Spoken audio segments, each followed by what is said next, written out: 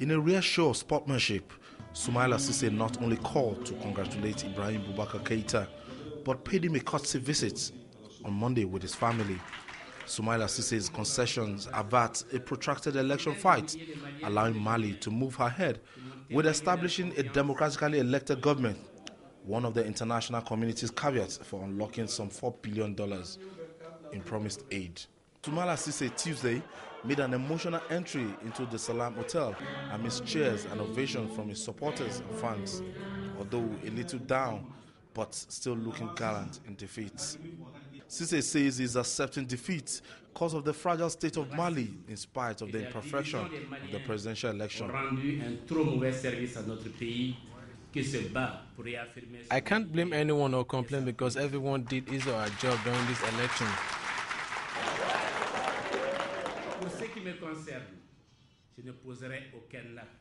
I am not going to cause trouble for my country as a result of the election not tilting towards me.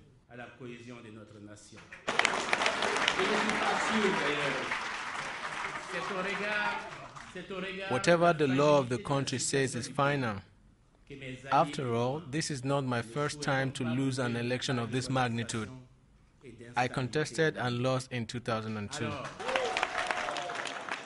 Ibrahim Boubacar Keita ran for the presidency in the two previous elections of 2002 and 2007.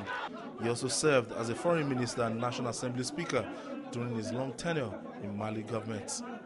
During his campaign, he ran on the pledge of restoring honor of the country ravaged by an Islamic insurgent that overtook the northern half of the country until French forces arrived in January to oust them from power. Au sortir de la crise que nous avons c'est le subprime, j'en suis membre, je suis membre de la commission Stélix. Je ne l'affiche pas. My country was being taken over by rebellion and people are concerned. C'est mon ami. Je m'excusera. We are Malian and cannot give away our country. Euh, I do hope this crisis will change soon. aussi talentueux que son père est un ami.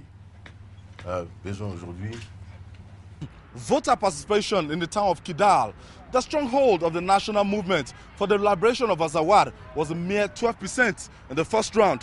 As the group vows not to pledge allegiance to Mali or its new president, regardless of who won, talks with the rebels from Azawad are due to begin within 60 days of formation of Keita's government, and many Malians remain wary of negotiating with the group.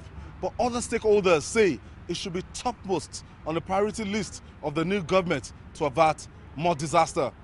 Ayodele Ozubakun, TVC News, Bamako, Mali.